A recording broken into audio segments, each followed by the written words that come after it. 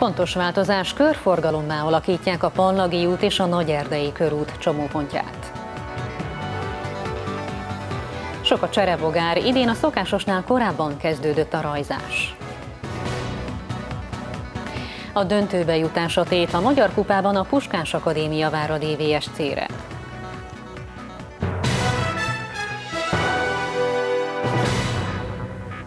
Jó estét kívánok, ez a Debrecen Televízió híradója, a Napszemle.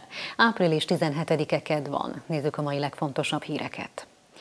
Körforgalmakat alakítanak ki, illetve építenek át a Nagy Erdőn. Az egyetemtéren hamarosan kezdődik a munka, a Pallagi út és a Nagy Erdei körút kereszteződése pedig jövő év első felére újul meg. Az átépítések célja, hogy a forgalom gyorsabb és biztonságosabb legyen. A Nagyerdő egyik legforgalmasabb csomópontja az egyetemtéri körforgalom. Itt naponta több ezer jármű halad át. Ezt több mint öt éve alakították ki, most azonban módosítani fogják. Az egyetemtéri körforgalom 8 méter széles körgyűrűje alkalmas arra, hogy két külön sávot alakítsanak ki rajta, ezzel is gyorsítva a közlekedést. Itt a munkákat hamarosan elkezdik és várhatóan fél éven belül be is fejezik. Emellett a Nagyerdei körútról egy külön balra kanyarodó sávot hoznak létre, hogy gördülékenyebb legyen a közlekedés. A klinika felé kikanyarodók számára pedig építenek majd egy gyorsítósávot is.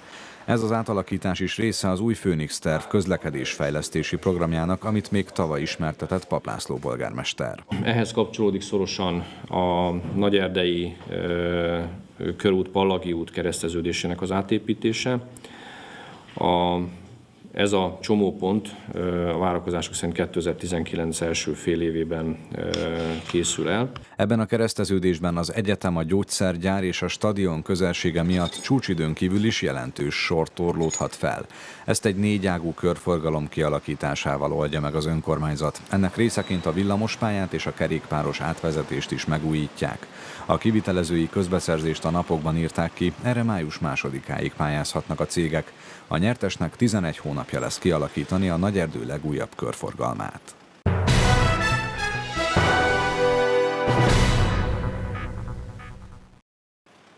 Idén már 21 tonna lombhulladékot szállított el a városban a Debreceni Hulladék Közszolgáltató Kft.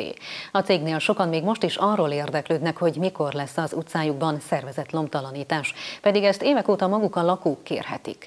A DHK szóvivője arra is figyelmeztet, hogy a lomtalanítás nem azt jelenti, hogy válogatás nélkül mindent ki lehet dobni az utcára. Az Eperfa utcán halmokban áll a kihelyezett lom a Debreceni Hulladék Közszolgáltató Nonprofit Kft. munkatársai áprilistól egészen novemberig folyamatosan végzik ezek elszállítását. A város 12 körzetében havonta egyszer mindig eljutnak. A cég tapasztalata szerint gyakran olyan anyagokat is kitesznek, amit nem lehet elszállítani. Hát itt a veszélyes hulladéktól a kommunális hulladékig sajnos gyakorlatilag nagyon sokszor azt is kipakolják, pedig ezt nem kellene. Másik dolog, hogy időben kellene kitenni. Sokszor ugyanis főként a társasházi övezetekben nem a lomtalanítás előtti napon, hanem már egy héttel korábban kiteszik a feleslegessé vált holmikat. Ez azzal a veszélye jár, hogy megjelenhetnek a rákcsáluk, és mások is elkezdik odahordani a szemetet.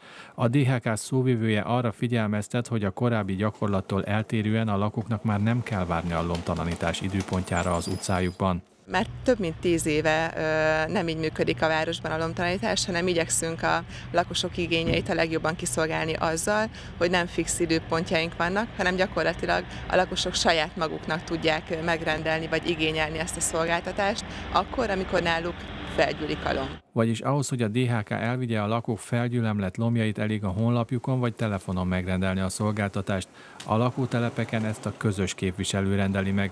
A hulladékot pedig úgy kell elhelyezni, hogy az a begyűjtő járművel könnyen megközelíthető legyen, és ne akadályozza a gyalogos, illetve a járműforgalmat. Idén áprilisban eddig már 21 tonna hulladékot szállított el a szolgáltató. Tavaly 8 hónap alatt csak nem 600 tonna lombhulladékot szállított el a DHK Kft. A lakótelepekről átlagosan másfélszer annyit, mint a családi házas övezetekből. A napszemlét Kababik László tudósította. Megkezdődött a cserebogarak inváziója. Debrecenben a fák törzsén vagy a fűben épp úgy találkozhatunk velük, mint a járdán. A cserebogarak három évente leginkább április végén, május elején jelennek meg szokatlanul nagy számban. A mostani meleg időjárás miatt azonban a rajzás idén a szokásosnál is hamarabb kezdődött. A tavasz megérkeztével nem csak a fák zöldültek ki, de megjelentek a májusi cserebogarak is. Ez az ízelt lábú akár 3 centi hosszúra is megnőhet. Amellett, hogy repül, a fák törzsén is könnyedén felmászik kapaszkodó karmai segítségével, bár az emberekre nem jelent veszélyt, látványa sokakban félelmet kelt. Megmondom az őszintét, én a bogarakkal nem nagyon vagyok kibékülve alapvetően. Mint cserebogár, nem sokat találkozok velük, megmondom őszintén, de azért jobb, ha nem kell velük konfrontálódnom. Az esti órákban gyakrabban lehet cserebogarat látni, napközben ugyanis megbújnak a fák lombjai között. A lámpafény vonza őket, így előfordul, hogy nyitott ablaknál berepülnek, akár a lakásba is. Akkor valamelyik férfi családtagot megkérjük, hogy kiüldözze, de ezen kívül semmi. Az emberek jelentős részével ellentétben a tőkés récék kifejezetten örülnek a cserebogarak megjelenésének, hiszen számukra kiváló táplálékul szolgálnak. Ha ilyet talál bárki, akkor engedje el, hiszen a természethez ő is hozzátartozik. A faj három évente rajzik, ezért van az, hogy vannak olyan évek, amikor kevesebb cserebogárral találkozunk, mivel elsősorban a fák lombjait fogyasztják, így a ligetekben és az erdős területeken találkozhatunk velük. Annyi nem fogyasztanak levelet, hogy kárt okozzanak, de mindenképpen érdemes figyelembe venni, hogy a zöld növényzet vonza a növényeket fogyasztó rovarokat, és így a cserebogár is azért lett kicsit nagyobb számban jelen. A mező- és erdőgazdaságokban már a lárváik, azaz a pajorok is komoly károkat tudnak okozni, mert a növények gyökerét fogyasztják. Mivel még az invázió elején járunk, így a következő hetekben még több cserebogár megjelenésére lehet számítani. Bántani azonban nem kell őket, mert fontos részei a táplálékláncnak. Tovább nőtt az utasforgalom a Debreceni repülőtéren. Márciusban meghaladta a 26 ezeret az utasok száma. Ez harmadával több az egy évvel ezelőtt regisztráltnál. Virággal és tortával fogadták a Városa Légitársaság és a repülőtér vezetői a Müncheni járat elindításának második évfordulóján a Lufthansa gépének személyzetét. Ez a destináció is hozzájárult az újabb rekordhoz. Idén március végéig csak nem 73 ezeren fordultak meg a repülőtéren, ami 28 os növekedés 2017 hasonló időszakához képest. Az adatokból az látszik, hogy a Parciumból, Kárpátaljáról, Kelet-Szlovákiából és Szabolcs-Szatmár megyéből is egyre többen választják a Debreceni légikikötőt. A mezőgazdaságban évente átlagosan 15 milliárd forint kárt okoz a belvíz, az asszály pedig 40 milliárdot. A szakemberek szerint a klímaváltozás miatt fel kell készülni az agráriumnak is a szélsőséges időjárásra. Ezt segíti az a Magyarországi Vízhiány Monitoring rendszer is, amelyet kedden Nádudvaron mutatott be az Országos Vízügyi Főigazgatóság. Nádudvar határában sok helyen vannak még belvízzel elöntött szántók, de a magasabban fekvő földeken már javában tartanak a tavaszi munkák. A mezőgazdaság az időjárásnak leginkább kiszolgáltatott ágazat. A sok eső épp úgy komoly károkat okoz, mint a vízhiány. Ez utóbbi, vagyis az asszály, az 1900-as évek eleje óta két-három évente jelent nagy terméskiesést, a hőségnapok száma viszont száz év alatt megduplázódott. Éppen ezért kell a gazdálkodóknak a vízügyi szakemberekkel közösen felkészülniük a szélsőséges időjárásra, mondta Kis Miklós Zsolt államtitkár Nádudvaron. A kamara és a kormány is ö, hangsúlyozottan a versenyképesebb, hatékonyabb mezőgazdaságban gondolkodik a következő évekre, évtizedekre, akkor pedig teljesen egyértelművé válik, hogy nem tudjuk megkerülni, és nem is akarjuk megkerülni a vízgazdálkodást és az öntözés fejlesztését. Ezek a gépek segíthetik az aszálykárok megelőzését. A vízhiány monitoring és előrejelző rendszerek hat szinten mérik a talaj nedvességét és hőmérsékletét. Az idei próbaüzem alatt a már meglévő 22 monitoring állomást további 24-jel bővítik országosan. Ezek adatai alapján számolják majd ki az úgynevezett aszályindexet. Célunk konkrétan az, hogy egy vízkárelhárítási rendszert építsünk rá erre a monitoring hálózatra, készültségi fokozatokat vezessünk be, és ha alkalmas ez a rendszer, akkor a mezőgazdasági vízszolgáltatás költségeinek elszámolását is ezekhez a készültségi fokokhoz kössük. Fontos célkitűzés, hogy az asszály monitoring hálózat segítségével a szakemberek gyorsan beavatkozhatnak, így a növényekben nem vagy csak kisebb lesz a kár. A hálózat a talajnedvesség többszintű mérésével a telítettség jellemzésére is alkalmas lesz, amely a mostanihoz hasonló belvizes időszakban segítheti a védekezést. A becsületemet meg fogom védeni.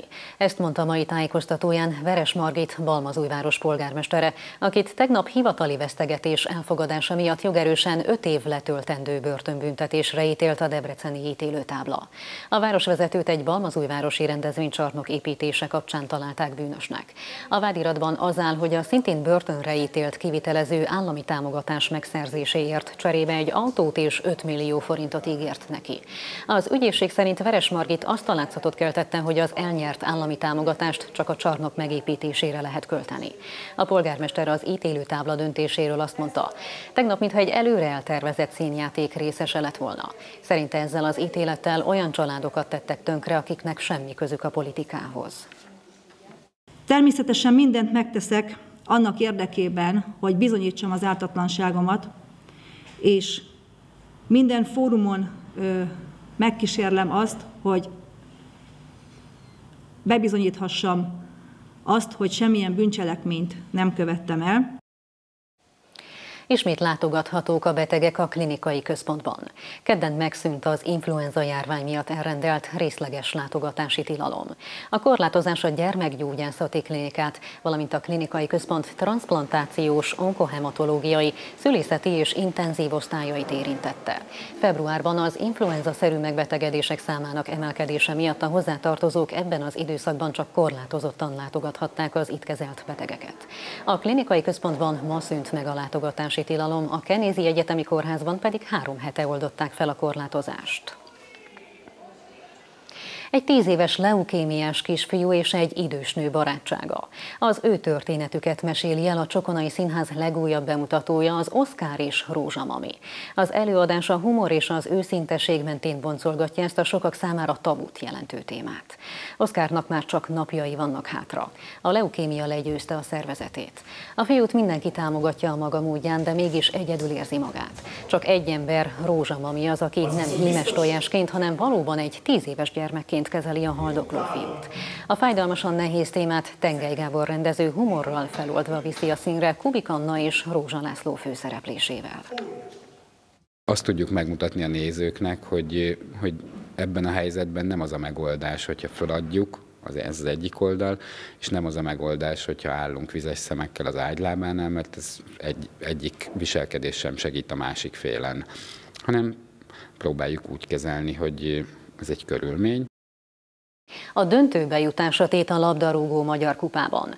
A Puskás Akadémia DVSC párharc első felvonását szerdán játszák felcsúton. A Loki jó formába lendült az elmúlt hetekben, így Herceg András játékosai bizakodva készülnek az odavágóra. A hét utolsó edzését vezényelte le kedden délelőtt Herceg András a Pallagi edzőközpontban. A Loki szerdán a Puskás Akadémia ellen lép pályára a Magyar Kupa elődöntőjében, majd ott maradnak, hiszen három nap múlva a videóton ellen játszanak. Hál' Istennek jól állunk a bajnokságban, és ugye megint ott vagyunk a, a harmadik helyen, úgyhogy én úgy gondolom, hogy ez egy kicsit helyzeti előny nekünk. Ugye a Puskásnak meg ö, lételeme, hogy a kupába elérjen, a, elérjen valami sikert, ha már a, a bajnokság nem úgy sikerült, hogy szerették volna. Az együttes remek formában van, amely bizakodásra ad okot a kupa mérkőzés előtt. A Paks elleni idegenbeli győzelem, illetve a Fradi elleni döntetlen pedig mentálisan is erősítette a játékosokat. Szerintem a nagyon fontos lesz, hogy milyen összeszedettek mentálisan, hogy lesz összerakva a csapat fejbe. Úgy gondolom, hogy ezzel nálunk sose volt gond, akarattal se volt gond soha nálunk.